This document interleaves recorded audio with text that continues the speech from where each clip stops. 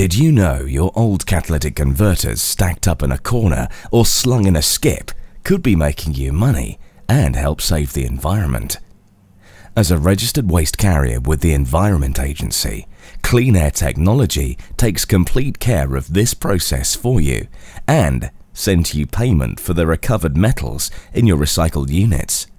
Firstly, fully trained ID carrying clean air technology staff arrive at your site in fully branded vehicles to ensure you're using a reputable, trusted organization.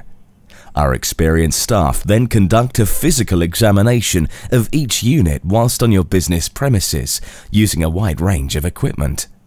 Each catalytic converter is then graded to identify its potential value and removed to our depot in Hampshire.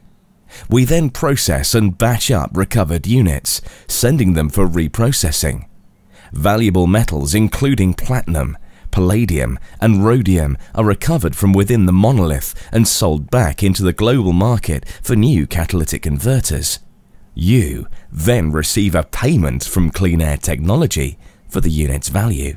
For more information, see www.cleanairtech.co.uk.